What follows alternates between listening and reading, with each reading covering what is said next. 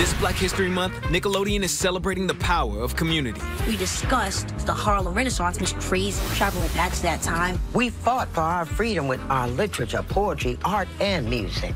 You gotta think about what R&B, hip-hop, all these music genres came from.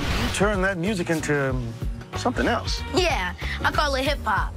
Hip-hop. Young Dylan, I feel like he learned a lot that was also good for him and good for me, like the real Young Dylan. Nickelodeon is celebrating black excellence all month long.